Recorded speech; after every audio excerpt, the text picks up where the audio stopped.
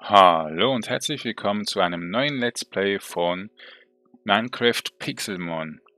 Die neueste Version ist drin, wir haben noch ganz viele andere Mods, die ich von meinem Draro Modpack noch habe. Und ich habe ein paar Mods danach herausgehauen, wo einfach nichts mit Pixelmon zu tun hat, also eher mit Monster zu tun hat. Und die gibt es ja in Pixelmon sozusagen nicht, kann man einstellen, aber möchten wir ja nicht. Und ihr seht, die meisten sind Baumods. Ich werde wahrscheinlich eine Pokémon-Region machen mit euch zusammen. Ich werde Livestreams machen von diesem Projekt, wo wir bauen. Und ich werde Videos machen, wo wir meistens auch Pokémon jagen und trainieren. Und ähm, ja, wir werden immer wieder ein paar Häuser bauen. Am Anfang eine Farm, dann ein Dorf, das mit Käfer zu tun hat. Weiter dann ein anderes Dorf mit einem anderen Element oder äh, Pokémon-Typ. Und irgendwann mal viel größere Städte, bis wir dann zu, ja, weiß nicht was kommt. Und müssen einfach bedenken, es kann eventuell einfach sein, dass wenig zuschauen. Ich bin kein Werbemacher. Und ähm, äh, ja, machen wir das äh, Drago Dra Kanto. Mit Kanto, also Drago und Kanto. Draganto. Oder Dracanto. Dracanto wird die Region heißen und es wird viel männlicher, viel erwachsener sein, also auch weiblicher. Und ähm, schauen wir noch mal kurz. Wir haben noch Ultradimension, sonst haben wir nichts. Ähm, wir machen mal mit Bonustruhe und ich hatte vorher in einer Testwelt einen perfekten Seed, aber ich verwende ihn nicht. Der einfach ganz eine flache Ebene war. Auf mehrere Kilo, äh, ja, mehrere hundert Meter. Und noch ein bisschen Wasser, viel Wasser. Aber jetzt vielleicht finden wir sogar ein besseres Biom, Startbiom. Genau, okay. Das ist eine Marke von, das ist eine von Fans erstellte Modifikation. Okay. Willkommen in der Welt von Pixelmon. Vielen Dank für die Installation dieser Modifikation. Jetzt wähle ein Starter-Pokémon. Ich habe ja mit der Eule das letzte, äh, ja, noch nicht so lange her, Ding ist dieser hier, Bouts. Und heute möchte ich gerne eines nehmen, das gar nicht mal so beliebt ist bei den Fans. Also doch eher schon. Leider nicht fliegen kann. Hm, ich nehme es nicht. Oder doch? es kann nicht fliegen. Ich nehme Glumanda. das nimmt fast jeder Pixelmon-Spieler. Wir nehmen, oh, die Katze ist eigentlich cool. Flamiau. Ähm, ich kenne mich natürlich aus, aber ich kann jetzt nicht immer die Namen sagen. Ich möchte irgendwie so eins nehmen, also wirklich eins, das nicht so bekannt ist bei vielen. Eigentlich ist ja Robball eines der, ja, momentan am meisten ja, unterschätzt, also ja, untergenutzten. Ey, ich bin, ich bin einfach ein Kanimani-Fan, ich nehme Kanimani. Oder ich nehme Hydropi. Hydropi hat eine Firma Schwäche gegen Pflanzen. Der Pinguin, Plinfer. Äh, ich glaube, Automaro ist auch relativ nicht so beliebt. Ich kann mich nicht entscheiden. Kanimani ist einfach etwas, was mich vielleicht ein bisschen motiviert, weil es physisch angreift. Ja, ich nehme, ich, ich würde gerne Glumanda nehmen wegen Drachen, aber Drachen sind so beliebt, deshalb nehme ich am Anfang jetzt mal nicht so Drachen und nehme Kanimani. So. Vielleicht ist es eine schlechte Wahl, aber ich muss jetzt nicht am Anfang schon so mega gut sein, dass es für uns zu leicht ist. Also. Wir haben wieder eine Ebene und einfach geil, oder? Spawn. Und tun das auch wieder lila machen weil ich ja nicht so gerne lila nehme. So, und mhm. Ja, da wollte man einfach ein bisschen leichter haben und bekommt schon mal das perfekte Zeug über, ja. Ich tue jetzt mal gar nicht so viele Sachen aus der Truhe nehmen, aber endlich mal Pokebälle schon am Anfang. Das ist eigentlich das Wichtigste, oder? Direkt am Anfang Pokebälle, Pokémon fangen. Einfach geil. Also, Sonderbonbons sowieso nicht. Das Holz können wir noch rausnehmen. Gut. Dankeschön, Kiste. Leider hat das Siedling Nettel die anderen Fackeln entfernt. Wir müssen noch viel einstellen. Deshalb müssen wir jetzt mal kurz schauen, mit was wir das machen mit K. Ne, das ist Ding. Also U ist der Pass. Irgendwo waren die Einstellungen für Pixelmon. Ja, das müssen wir noch kurz schauen. Inventar. Mehr Spiele, verschiedenes. Schrank. Shoni Map. Details, Crayfish, Pixelmon. Ähm. Leider sieht man nicht alles hier rechts, aber eines ist der Konfigurationsmenü. Machen wir mal auf. Ja, ist alles besetzt. Substrakt. So. Weil wir müssen machen, dass die Mobs nicht angreifen. Sonst nerven die Kämpfe natürlich immer. Hier, falls. Und einfach die Anzahl. Maximal Pflanzen mache ich mal doppelt so viel. Ich glaube kaum, dass das so stören wird dann. Röhrenwuchs ist wahrscheinlich.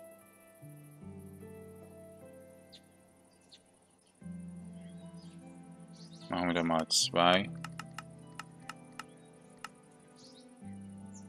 Vielleicht ist es einfach die Ultradimensionstore. Vanilla Mops.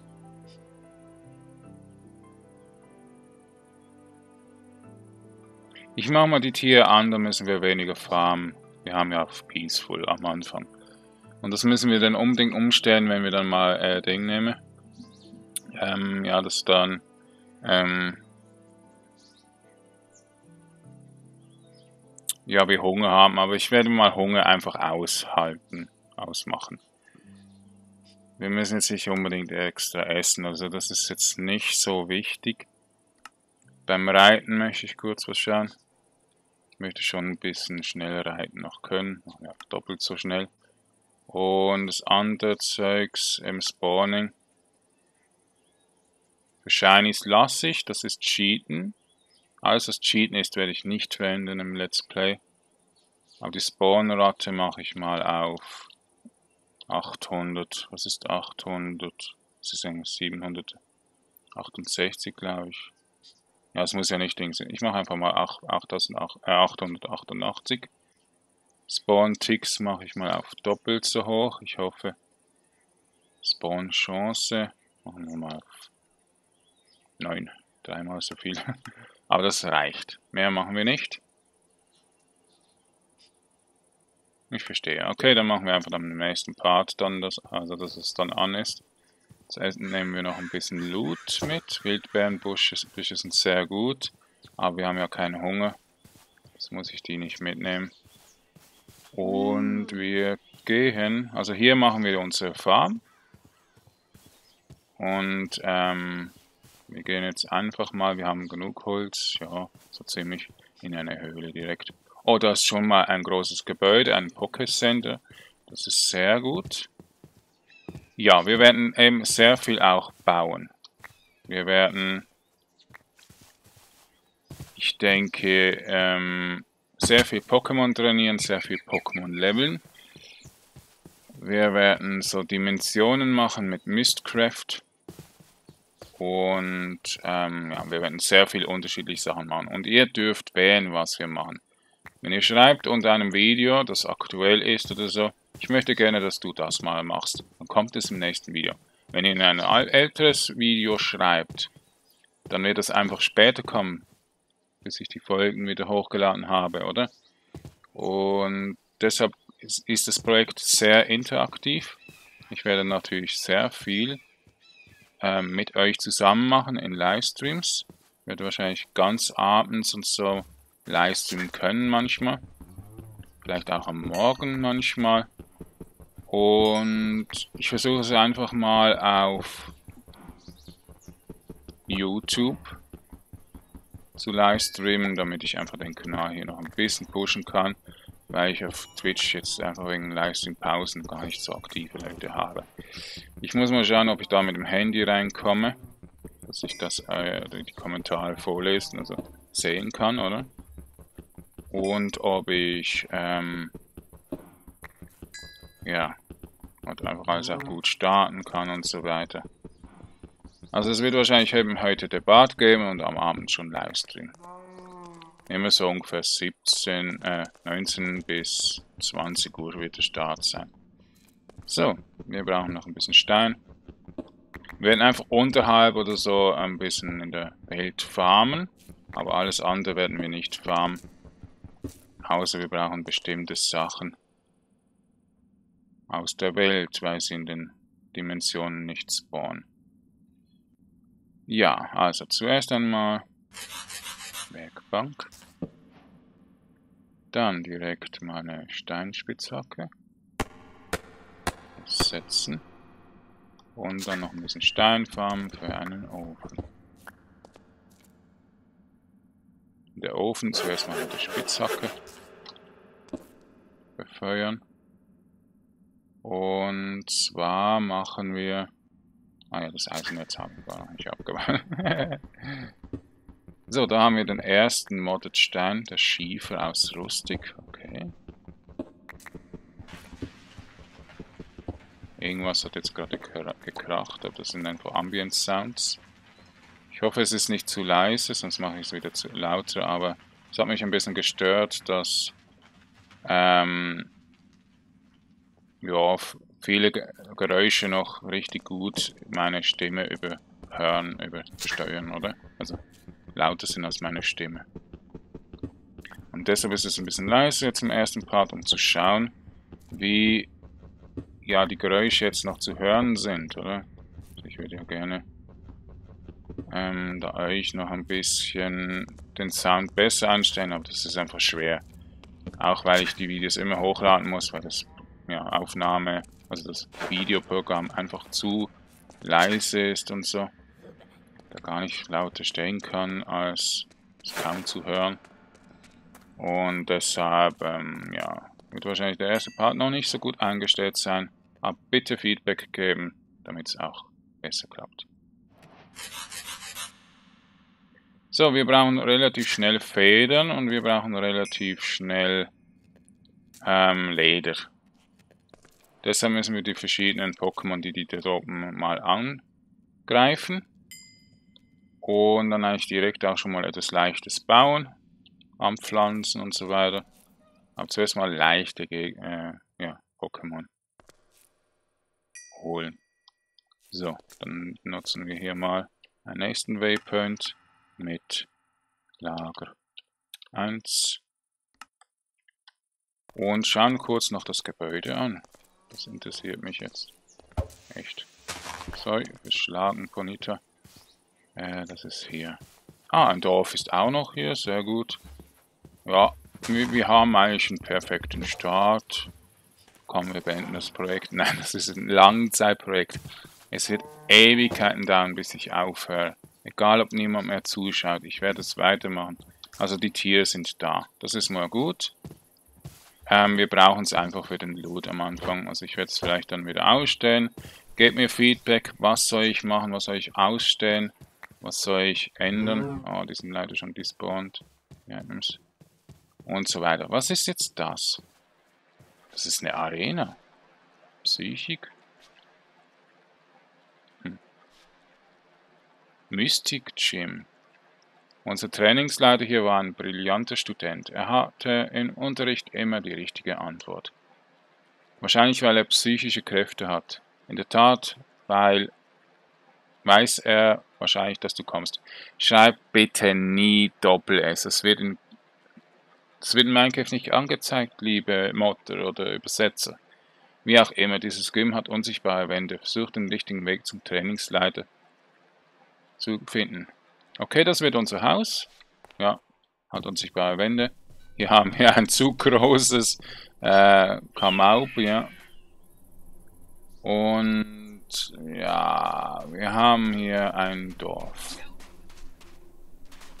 Oh, das war, das war jetzt hier ein Leck. Hm.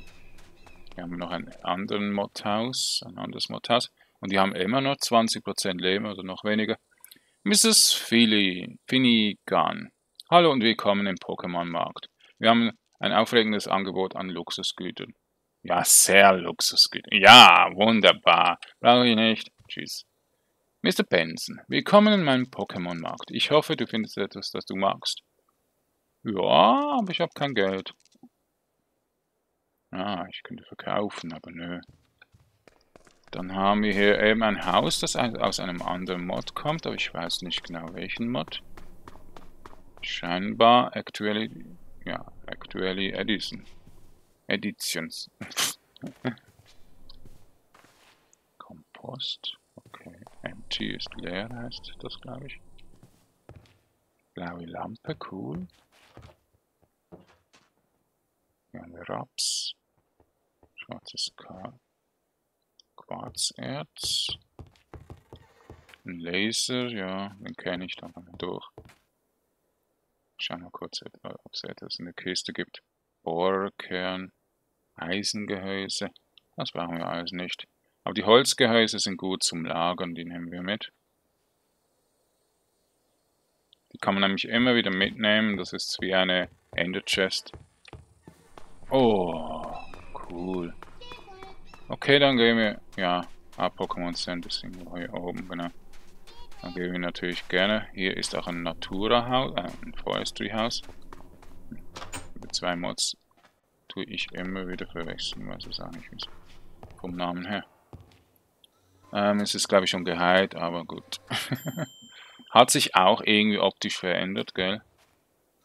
Krankenschwester John. Lasst mich diese Pokémon für dich heilen. Ja, das habe ich schon gemacht.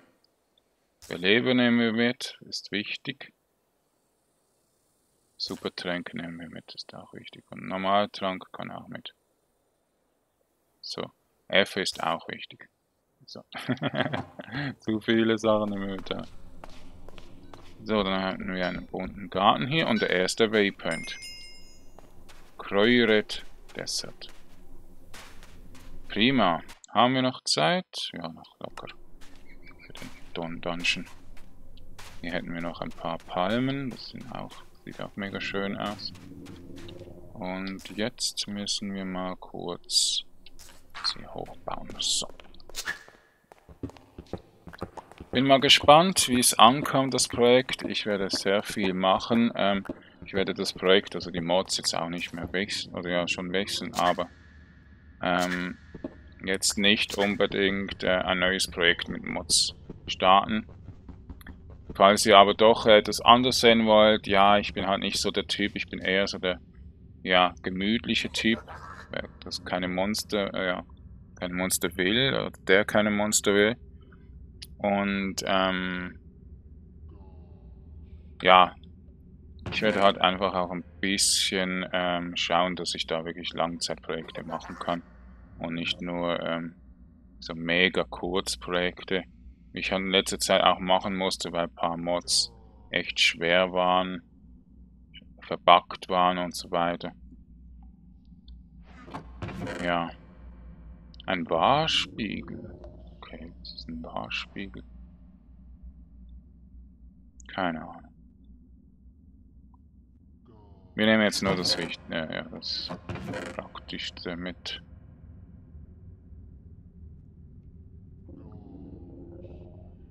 GS-Ball. What the fuck?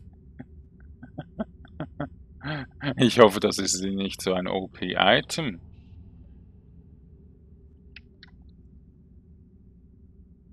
Ja, wow. Sehr viele Informationen. Wow. Dankeschön. Das ist ja heftig.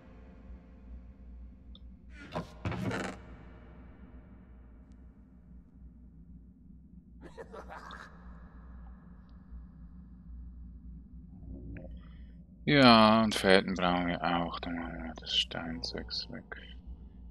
Der Koppel, manchmal. kurze Rettung. Ja, und hier haben wir eigentlich nur noch das verzauberte Buch. Diese Bären brauchen wir ja nicht. Und jetzt bauen wir uns wieder mit Sandstein hoch. Ich sehe kaum etwas. Wir haben leider keine Fackeln. Ja, Kohle hätte ich noch mitnehmen sollen, aber. Gut. Ja. Finde ich sehr toll. Also es gibt auch optische Mods drin. Es gibt eben Tiere. Dank dieser Einstellung. Und haben doch Hunger. Also. Ah, es ist auf normal. Ja, ja. Okay, machen wir wieder auf Peaceful. ja, wenn sie je nach Welt, also je nach ja, je nach Welt dann anders ist, ist natürlich blöde. Aber jetzt haben wir hier auch Margot-Beere. Okay. Aha, macht die Geschwindigkeit langsamer oder so. Hm. Dick da. Ich denke, wir starten jetzt mal ein bisschen weiter weg von der Stadt, vom Dorf. Und ähm, irgendwo, wo es flach ist. So schön am Meer wohnen. Ich wusste gar nicht, dass ein Meer hier ist. Also man hat es nie gesehen. Gut, so ein Meer würde eigentlich auch nicht schlecht sein. Und vielleicht aufs Meer raus. Äh, dann ein Haus bauen. Ein Schiff dazu und so. Ich denke, wir haben eigentlich gute Ideen. Ihr dürft natürlich auch gerne Ideen einbringen. Kein Problem. Ich mache gerne, äh, ich bin gerne der Sklave, wenn ich als Let's Player auch glücklich bin. Ich bin natürlich immer glücklich. Aber damit ich auch glücklich bin, möchte ich gerne eure Taten und so sehen. Also wir machen das direkt hier am Spawn, denke ich mal. Haben ah, machen mal dann die Sichtbarkeit des Waypoints auf, aus nur die, die Sachen, die wichtig sind. Also wir haben hier ein Savannenbiom, das ist nicht schlecht. Ich möchte eigentlich hier ungefähr das Haus bauen und hier die Weide. Deshalb lassen wir uns hier oben nieder. Also ist gar nicht oben. Sieht nur so aus, weil es hier runter geht. Ja, ich denke, wir ja, machen uns hier gemütlich müssen aber noch die anderen Sachen holen, aber jetzt mache ich zuerst einmal die Holzgehäuse hin. Jetzt haben wir hier immer Probleme mit dem Platz. Das ist jetzt blöd, dass man hier... Ah, das sind gar keine Kisten. Das sind einfach nur Gehäuse. Und die gehen kaputt. Was ist denn das? Okay, dann müssen wir doch kurz mal alles hier machen. Ja, ich zerstöre die einfach. Die, die findet man sowieso genug. Wenn man die nicht abbauen kann. Steht auch wirklich nicht, ob sie abbaubar sind und so. Es gibt manchmal noch ein paar Performance-Probleme. Keine Ahnung wieso. Aber wenn ihr wisst, wie man die eigentlich so ein bisschen vermeiden könnt, bitte unbedingt in die Kommentare schreiben. Weil scheinbar ist es einfach, wenn Pokémon spawnen, vielleicht die Spawnrate wieder ein bisschen runterstellen. Ja, man weiß es nie. Okay. So.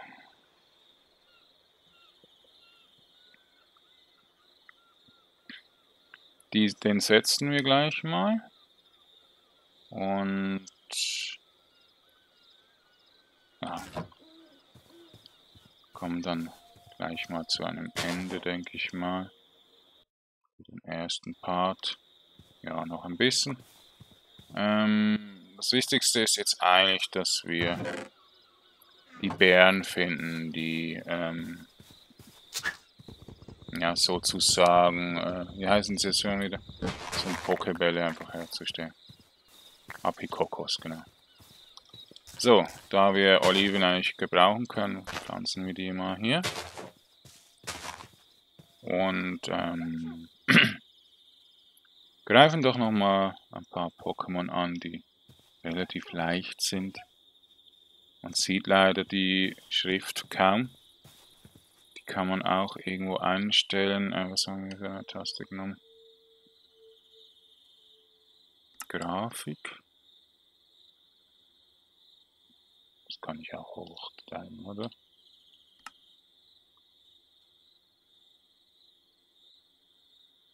Writing, also externe Daten.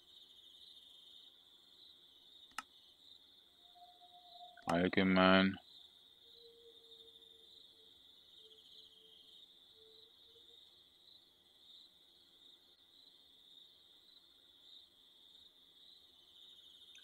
Ja, ein bisschen, am besten auch ein bisschen erklären, was ich da so Sachen einstellen müsste.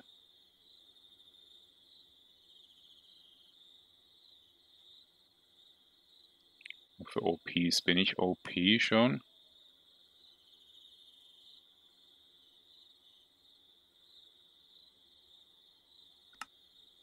Ja, also ich finde es jetzt nicht, wie man einfach die Schriftgröße machen kann.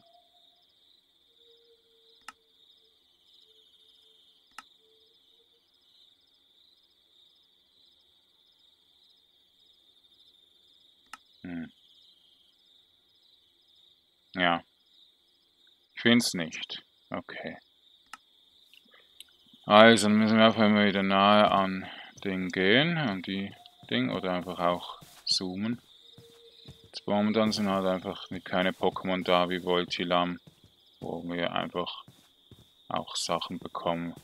Zum Beispiel Wolle für ein Bett. Gut. Ja. Dann bis zum nächsten Part. Euer Drago Basler. Tschüss.